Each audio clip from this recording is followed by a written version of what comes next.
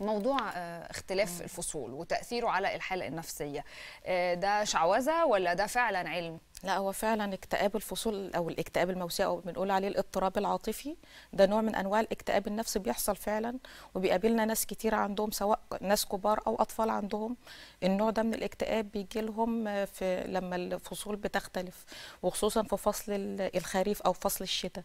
لأن فصل الخريف أو فصل الشتاء بيبقى الشمس فيه مش موجودة زي فصل الصيف.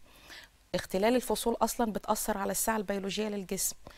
الاختلاف عموما اختلاف النوم أو اختلاف ساعات النوم أو اختلاف التغذية اختلاف الفصول ده بيأثر على الساعة البيولوجية للجسم فبيخلي الإنسان بتنمي مشاعر الاكتئاب عند الإنسان. كمان اختلاف فصول السنة بتأثر على النواقل العصبية في الجسم من أهمها هرمون السيروتونين اللي هو أصلا مسؤول عن السعادة. فلما الاختلاف فصول السنة يأثر على الناقل العصبي السيروتونين اللي هو مسؤول عن السعادة فالموضوع ده بيقلل بيقلل الهرمون فبالتالي بيحصل الاكتئاب. كمان بيأثر على الميلاتونين اللي هو أصلا مسؤول عن تنظيم النوم. واعتدال المزاج اعتدال المزاج ال... الإنسان. فالإنسان لما ما ينامش بطريقة كويسة الهرمون ده بيأثر على النوم. لما ما بينامش بطريقة كويسة الإنسان بيبقى عصبي ومكتئب وما بيقدرش بيشتغل ما يقدرش يشتغل بشكل كويس. فده بيأثر عليه من ناحية تانية فبيزود الاكتئاب. أي إنسان ما بينامش بشكل طبيعي ما بي ما بيقدرش يشتغل بشكل طبيعي فده بيحسسه بالحزن بيحسسه بالعصبية فطبيعي إنه يكتئب.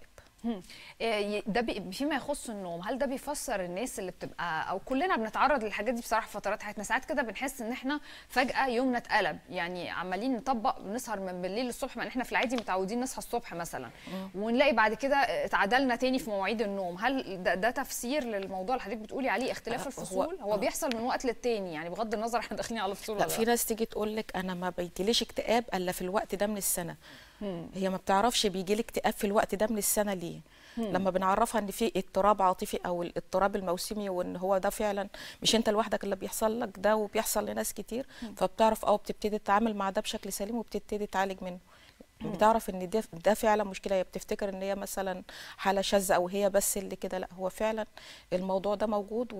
وأعراضه بتبقى زي أعراض الاكتئاب العادي اللي هي بقى إحساس بالحزن وانطواء وعزلة طيب أعرف الكلام. أعرف إمتى يعني أفصل أو أعرف أميز إن هو ده اكتئاب تغيير الفصول وإن هو مش حالة اكتئاب مزمنة عندي وأنا ما كنتش دريانة بيها مثلا.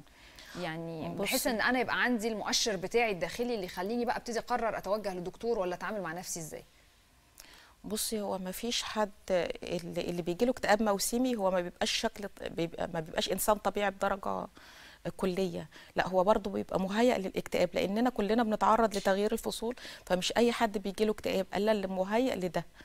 ففي ناس بتبقى فعلا شخصيات اكتئابية أو بتمر بأزمات حياتية أو ضغوط حياتية كتير فبيجي لها فزي ما يكونوا يعني جت يعني بتتلكك جت على تغيير الفصول فجالها الاكتئاب ده.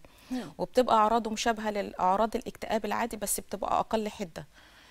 نتيجة بقى اللي أنا ما بخرجش ما ما, ب... ما بتحركش ما بستهلكش طاقة ما بتعرضش للشمس فكل ده بيأثر عليا. لما بنيجي نعالج الموضوع ده هو بيكون أقل حدة طبعا لو ما تعالجش الموضوع بيتفاقم. لما بنيجي نعالجه وإحنا طبعا بنعالج سبب الاكتئاب.